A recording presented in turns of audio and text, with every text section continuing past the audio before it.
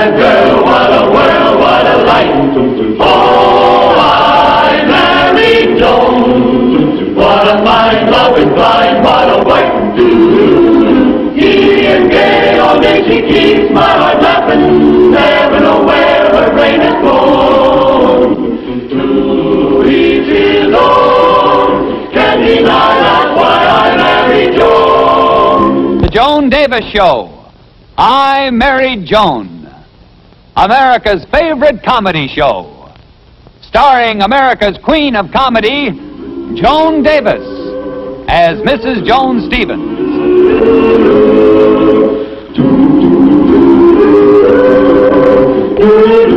And featuring Jim Backus as Judge Bradley Stevens.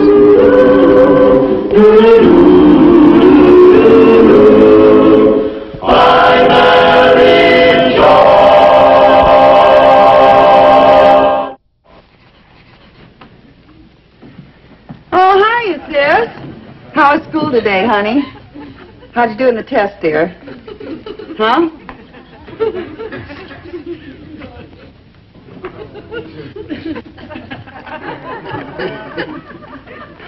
honey, you're throwing away the best part. Oh, I don't. Oh, Beverly. Who is he? No, just a fellow at school who. Tom Peters. Oh? Well, what's bothering you? Is Tom stuck on another girl? Oh, no, I think he likes me. But he's so darn shy, he won't do anything about it. He spends most of his time with Agnes. Agnes? Yeah, it's his hot rod. Oh, Agnes is his car. Well, what's a hot rod got that you haven't got? Tom. Yeah, I've asked him to come over, but he's always too busy with that car. Well, you just leave it to your big sister, honey. I'll get that Tom Peters over here if I have to push that hot rod all the way.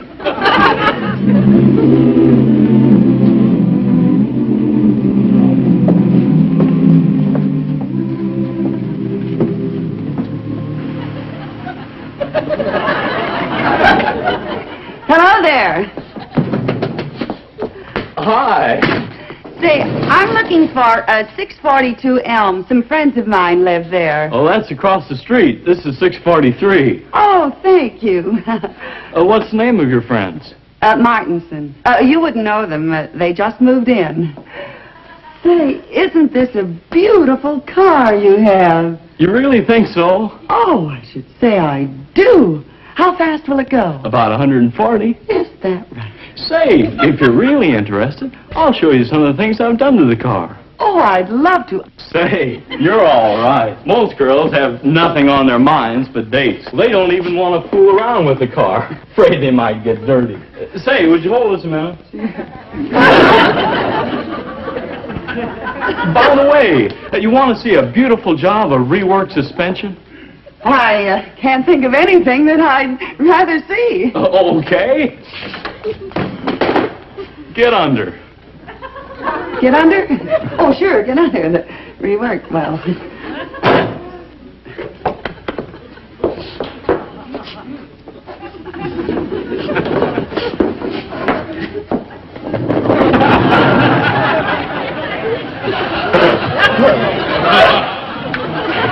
Say, how would you like to come over to the house tonight, and you and my sister and I could talk about cars? Okay, I'm always glad to talk about cars. Well, but- Say, uh, why don't you take a look at that extra cross member?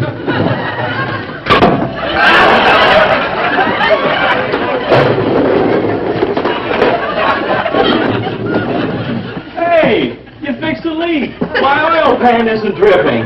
It isn't? No? How did you ever do it? Just used my head, that's all. I'll see you tonight, then. It's 133 Stone Drive. Okay, goodbye. Bye.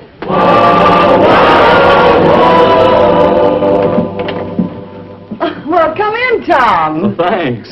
My, you look nice, all dressed up. Oh, you're just saying that. No, really. Well, come on, uh, sit down on the couch.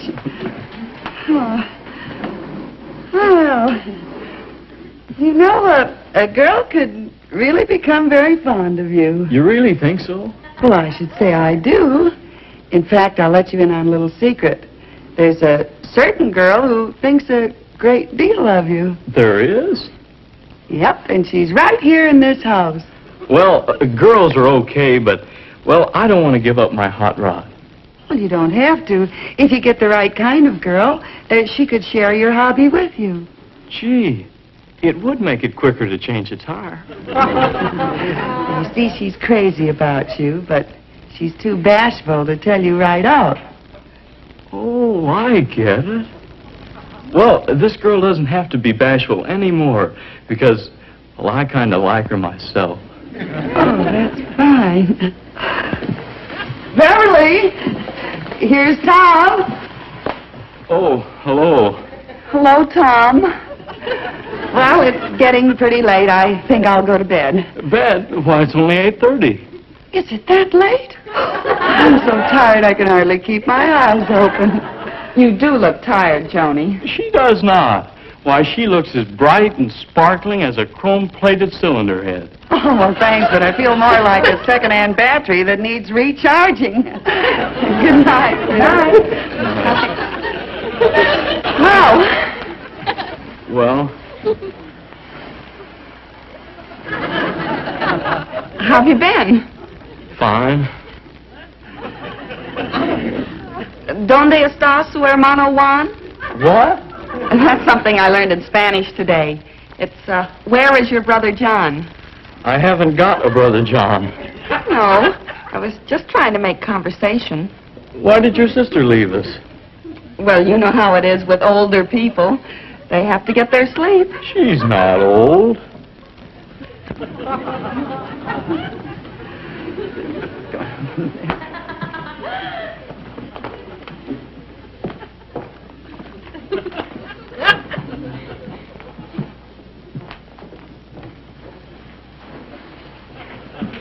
Say, good night.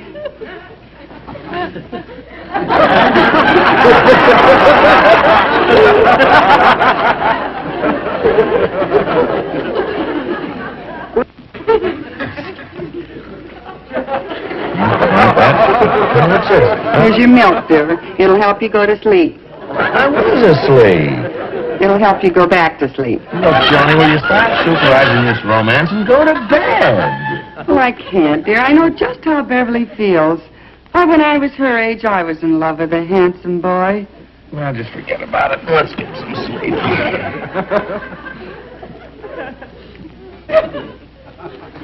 uh, who was this handsome guy that you were crazy about? Oh, it was so far back, Fred. Was it, uh, Charlie Gillis? No. Was it, uh, Freddie Beamish? How about a cheese sandwich, Fred? I don't want a cheese sandwich. Was it, uh, Stanley Fenstermacher? No.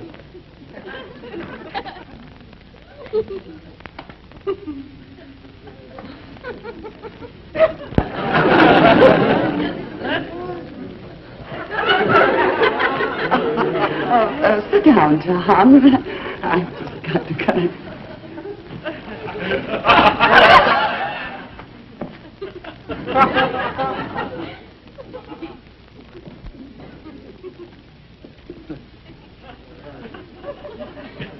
Uh, would you hold this a minute for me, Tom? Sure. Just have to get the big down the place over here. Nick.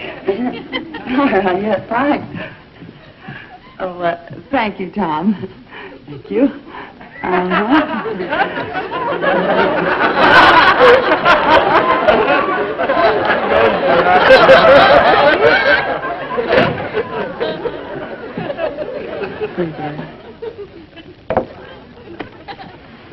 Don't tell me it was Harry Demuth. What was Harry? Guy that you had this crush on. no, it wasn't. Ha- Harry was much too old for me. He happens to be exactly the same age as me. I'm sorry. Oh, no. It wasn't Paul Trivers. No, it wasn't. Johnny, I demand to know the name of this person that you admit that you were once in love with. Tell me the idiot's name. Oh, Brad, it was you. Me? yes, dear. Oh, and I remember how I suffered when I thought you weren't interested in me. You know, that's just how Beverly feels now. Ah, Joni, honey. He's gone.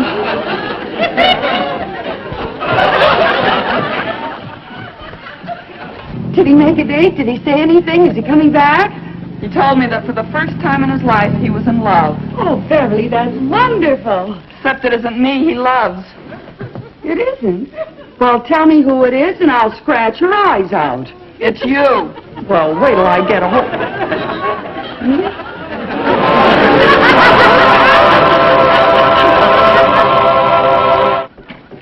Here you are, lady, some flowers. Flowers for whom? I don't know. All it says in the envelope is to the glamorous goddess with the golden hair. Well, that narrows it down, anyway. Thank you. You're welcome. Hey, flowers. Who are they for? To the... No, you wouldn't believe it. I I guess they're for me, honey. To Joan. This is from Brad. You are the one woman, the only woman in the world. I admire you more than words can tell, though I've only known you for one day. This is from Brad. It's from Tom. I told you he's in love with you. Well, isn't it? Your devoted slave, Tom. Well, what does my big sister have to say now? Well, just what I said before. This is utterly ridiculous. Why, that Tom is a silly, foolish, irresponsible, thoughtless boy. And all I can say for him is that I admire his taste in women. oh,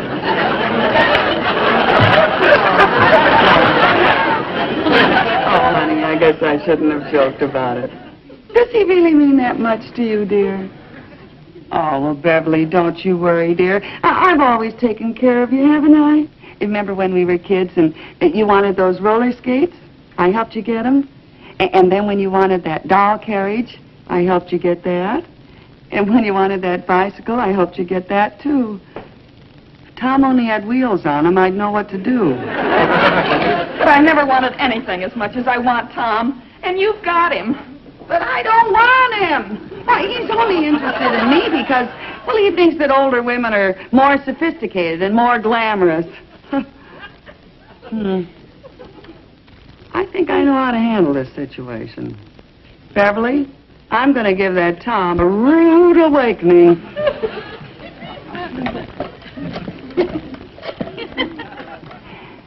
Uh, information. I- I'd like the number of Tom uh, Peters. uh, Peters. Tom Peters. A 643 Elm. A 643 Elm. A Dunbar 34965. A Dunbar 34965.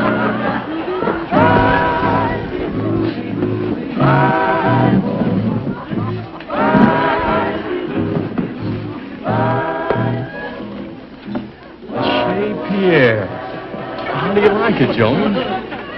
It's for squares. But what can you expect from a town like this? You know, Joan, I've never met a woman like you before. Uh, last night, uh, after I went home, I couldn't get you off my mind. I tossed and turned and twisted. I didn't know what to do. Uh, uh, finally, I, I got up and I went out and adjusted the tappets on my car. Did that help? Oh, yes. Now the motor runs much quieter, and there's lots more compression. Oh, you old flatterer, Tom, comparing me to a valve job. uh, say, I have an idea, Tom. Uh, let's rush our dinner and have coffee elsewhere. I know a divine little place where you sit on cushions and drink Turkish coffee. Turkish coffee. Oh, yes, thick and sweet. The way I used to drink my coffee in Istanbul. Istanbul. Oh, exotic Istanbul. I left him standing in the rain. What a mess he was. Oh, pooh. But that's another story.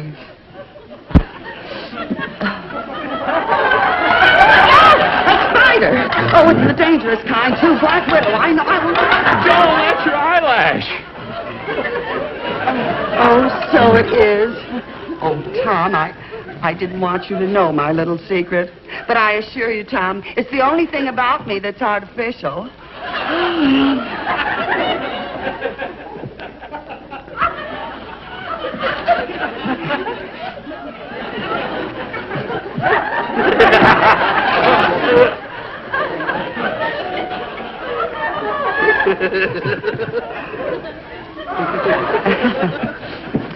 well. Shall we order?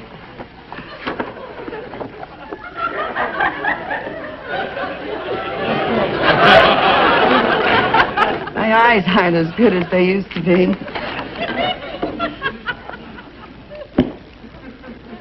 I have a slight case of uh, stigmatism.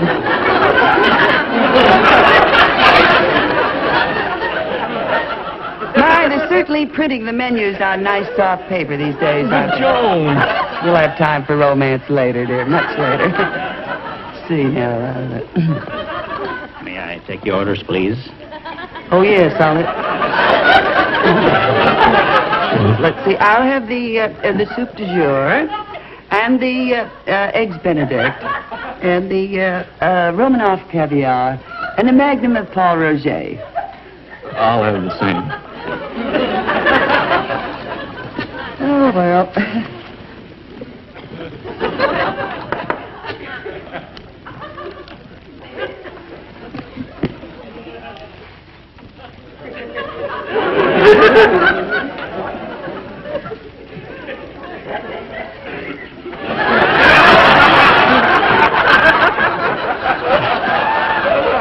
oh.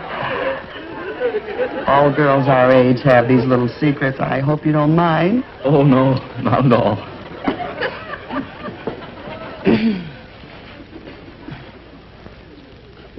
How about a roll? No, thank you. I'm not very hungry.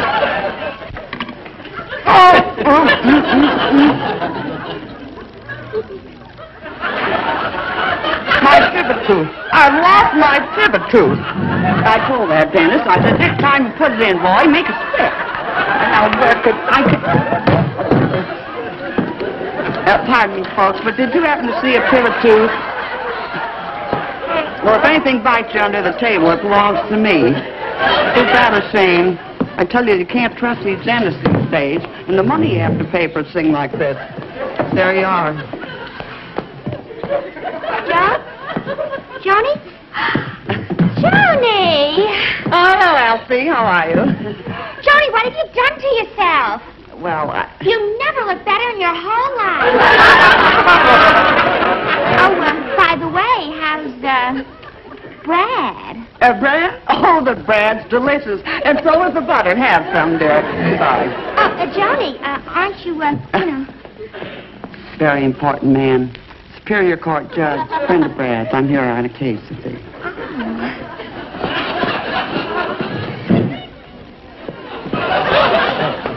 Uh, it's my veterinarian. Takes care of all my horses. Joni, maybe we ought to dance. Dance? Oh, I'd love to, Tom.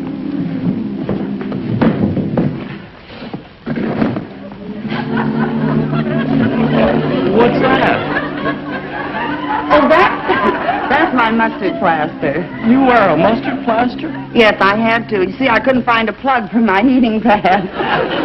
Everybody conga!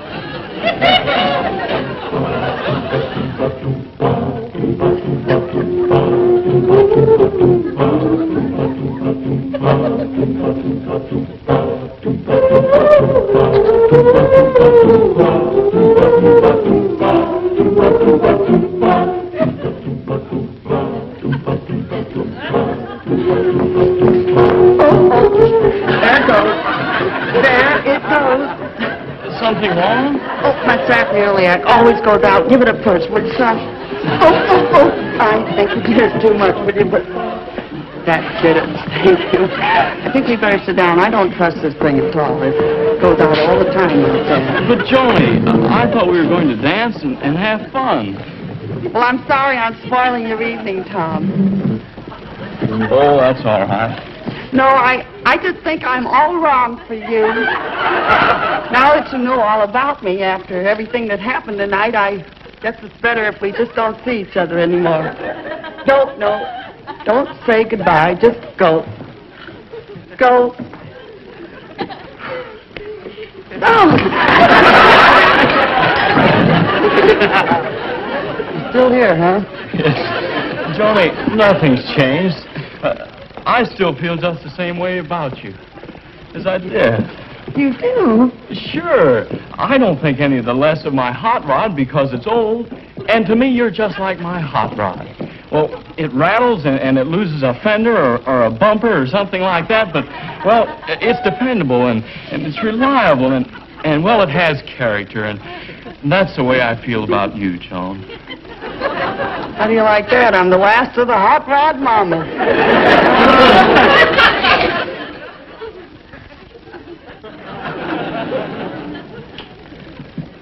Why did you let her do it? Tony was only trying to help me. Well, she should have been back before this. Where's Tom? He went home. Well, tell me, did you fix everything? Yeah, we finally came to an understanding. Good. Now we're engaged.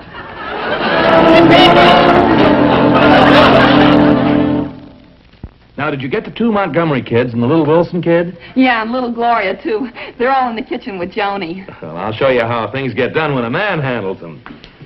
Oh, uh, what time is that lovesick kid getting here? Any minute now. Boy, I hope this works. Don't worry, leave everything to me. I'll get you out of it. Oh, and if you do, honey, I promise you I'll never get engaged again. There he is. Well, you uh, let him in, and you take care of the kids out in the kitchen. Oh, hello, Tom. Let me look at you. Gee, you look wonderful. I don't believe you two have met. Uh, Tom Peters, this is Brad Stevens, my husband. Your husband? I didn't know you were married, Joan. It Must have slipped my mind. I'm terrible at detail. You must be the other man. Look, Mr. No Stevens, I- sense making a scene. Let's be civilized. Take her, my boy, with my blessing. Oh, Brad, you're being so noble. It's nothing. You'll write. Often. Ernest. No. So we go. Haven't you forgotten something? Oh, of course. Please.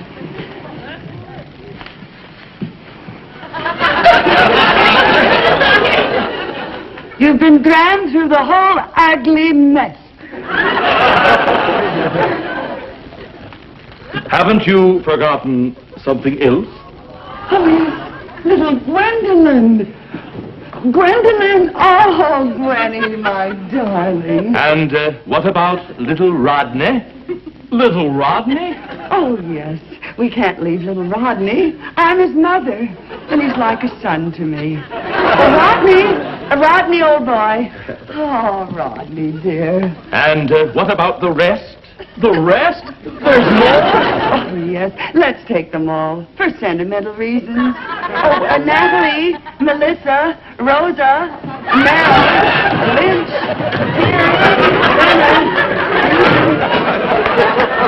Oh, kids, you were wonderful.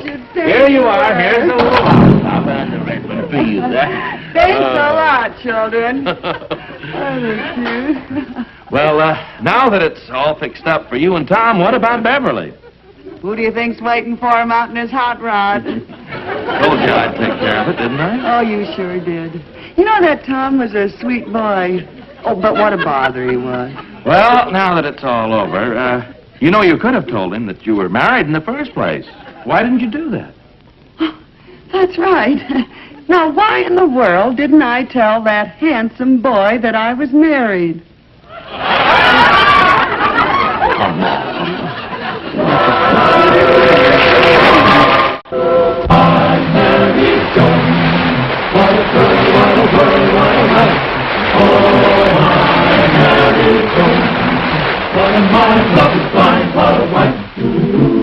Gideon gay, all day she keeps my heart laughing, never know where her brain has gone. To each his own, and deny that's why I married Joan. To each his own, and deny that's why I married Joan.